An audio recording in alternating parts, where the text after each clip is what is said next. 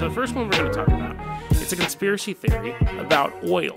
Now, you know, I was going to college back in the late 90s, early 2000s. And that was a time where you're reading a lot about peak oil and they, that was kind of the big movement at the time. There's always one. There's always like one big ecological social disaster movement at a time. This was before 2012, but I think for the intellectuals, it was peak oil. We're going to run out of oil. We're going to run out of oil someday. And you know, the end of suburbia. We watched that movie in college, and I remember thinking, "Oh no, this is really bad. Like, we're running out of oil." And it could be like this huge disaster thing. And they always kind of pitched it as it's not Mad Max, but it's kind of like Mad Max. But, you know, as I got older and I kept looking at stuff, and especially when Deepwater Horizon popped off, if we were at a level of peak oil, you'd be like, oh, this is definitely accelerating the, you know, now we're real. But there's just so, there's so much oil under the ground.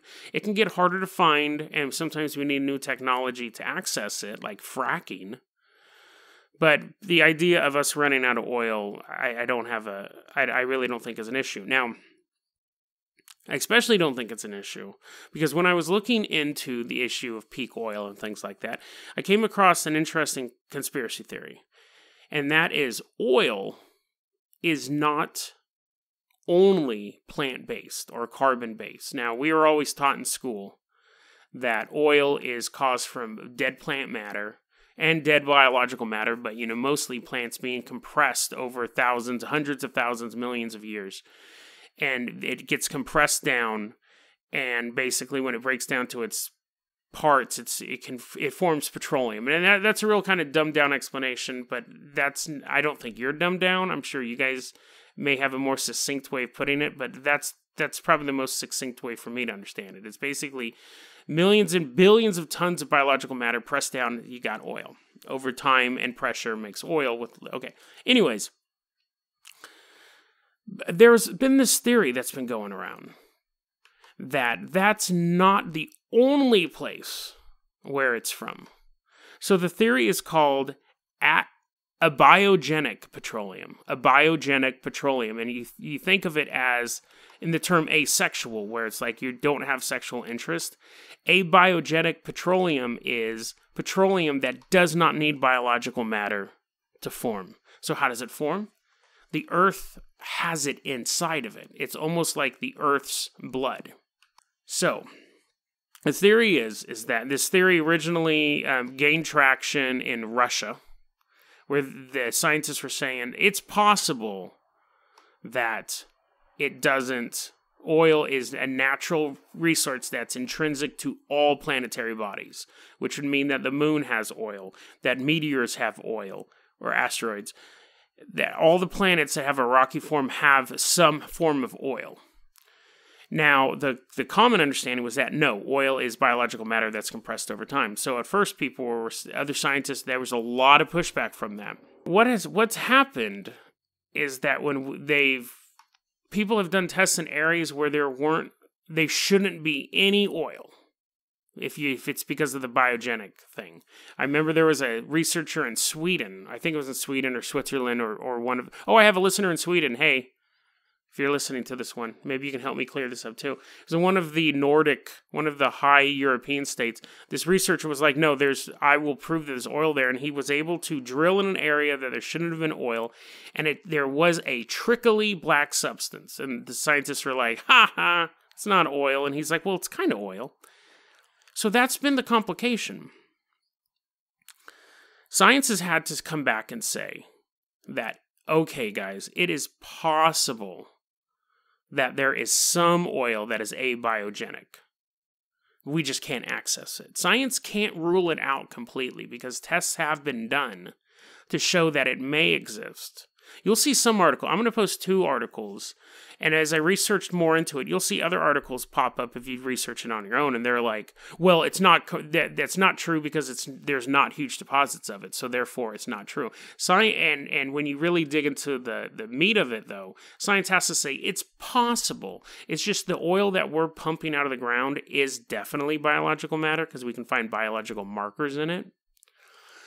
But it's also possible that oil in other parts of the planet are are um, abiogenic.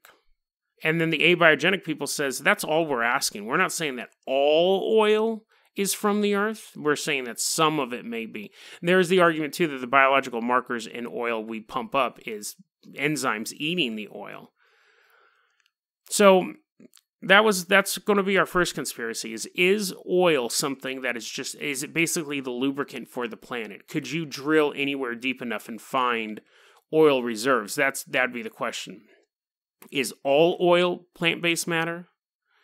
Or is only some oil plant-based matter? Because even the abiogenic the abiogenic people aren't saying no all oil absolutely every single drop of oil is um, this is this so I think that's an interesting conspiracy theory. The oil thing, which again, this was a story that I'd heard, you know, maybe 10, 15 years ago and found fascinating. And again, I had to do some more digging on this. And as it stands right now, the consensus is, is yeah, I guess it's possible. It's not what we're pumping out, but it's possible. And so the scientific community is still more divided on on this on the oil issue.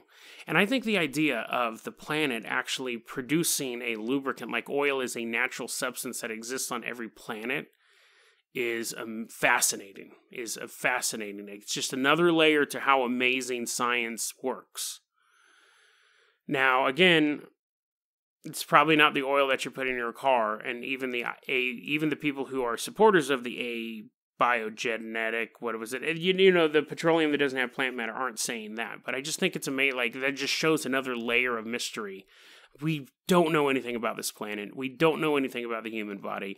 We don't know anything about the universe around us or the universe in the microverse or anything like that. I find that fascinating that new stuff is being discovered stuff that we've taken for granted is being discovered today because, like I said, people have tried dismissing the abiogenic oil, and the really the best they can come up with is it's not in huge huge amounts, at least huge amounts that we can access. But if if that's true, if something that is as ubiquitous as oil, ubiquitous, you, I think there's a T in there, but something that's such a part of our life as oil, you know, that the, there's we're still discovering stuff about that. I find that amazing. That was a clip from our daily podcast, Dead Rabbit Radio. Dead Rabbit Radio is available anywhere that you listen to podcasts. It's daily paranormal, conspiracy, and true crime news. If you want to hear the full episode that this clip came from, check the link below. Please like and subscribe. And hit that little bell, too. That does some magical stuff. Thanks, guys.